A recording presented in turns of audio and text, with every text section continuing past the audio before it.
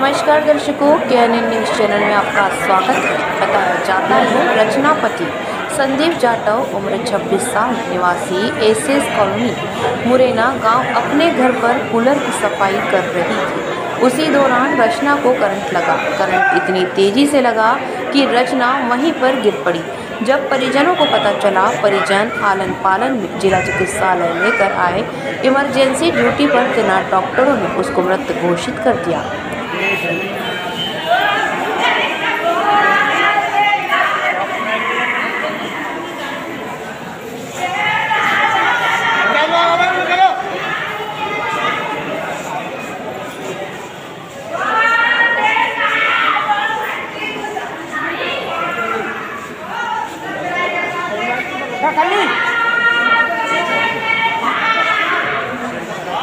Kalian sudah.